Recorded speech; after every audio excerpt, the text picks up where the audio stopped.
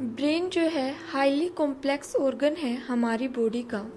ये essential role play करता है वेरियस बॉडीली फ़ंक्शन में। ब्रेन में स्पेसिफिक एरिया रिस्पॉन्सिबल होता है स्पेसिफिक फ़ंक्शन के लिए। ब्रेन को दो हेमिस्फेयर में डिवाइड किया जाता है राइट हेमिस्फेयर और left hemisphere each hemisphere responsible है पर्टिकुलर फ़ंक्शन के लिए। ब्रेन लेटरलाइजेशन प्रोसेस है ब्रेन की, जिसमें इंफॉर्मेशन जो है एंटर करती है लेफ़्ट हेमिस्फेयर में। ये कॉर्पस कोलिज्म के थ्रू ट्रैवल करते हुए सेंड कर दी जाती है right side of the brain में। क्योंकि दोनों हेमिस्फेयर के फ़ंक्शन इंटरडिपेंडेंट है। ईच हेमिस्फेयर की पावर जो है प्रोसेस करने की इंफॉर्मेशन वो सेम नहीं है सभी पर्सन में। रॉबर्ट डब्ल्यू स्पेरी एक साइकोलॉजिस्ट हुए, उन्होंने अपनी एक थ्योरी दी, जिसमें उन्होंने कहा कि एक पर्सन में जो है, या तो राइट ब्रेन होता है, या लेफ़्ट ब्रेन होता है। दोनों ब्रेन में से एक ब्रेन डोमिनेट होता है।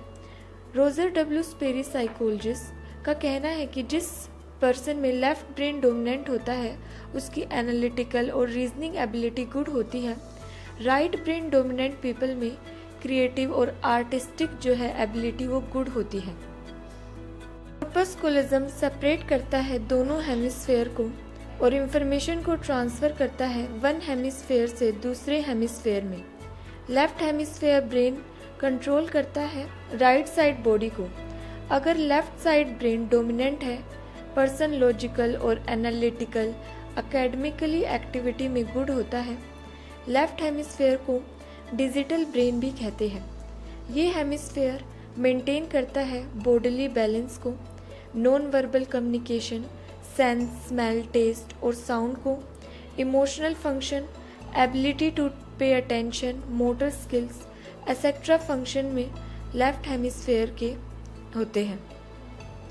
एरिया और वर्णिकीय एरिया जो प्रोडक्शन ऑफ़ स्पीच में हेल्पफुल है, ये लेफ़्ट हेमिस्फेयर में प्रेजेंट है। राइट हेमिस्फेयर कंट्रोल करता है लेफ़्ट साइड बॉडी को, इसे एनालॉग ब्रेन भी कहते हैं।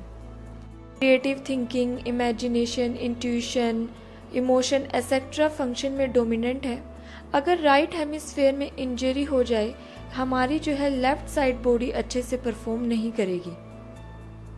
पेरी ने स्प्लिट ब्रेन एक्सपेरिमेंट किया था, जिसमें उसने कॉर्पस कोलिज्म को कट कर दिया। ये पार्ट हेल्पफुल है कम्युनिकेट करने में, दोनों हेमिस्फेयर में।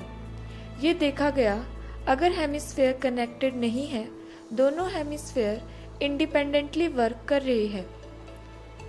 कुछ प्रॉब्लम जो है इसमें देखी गई।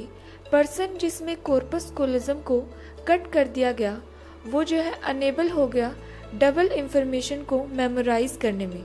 फॉर एग्ज़ाम्पल पर्सन जो है रिकॉग्नाइज नहीं कर पाएगा फैमिलियर ऑब्जेक्ट को, क्योंकि इंफॉर्मेशन जो है ट्रांसफ़र नहीं करेगी वन हेमिस्फेयर से दूसरे हेमिस्फेयर में।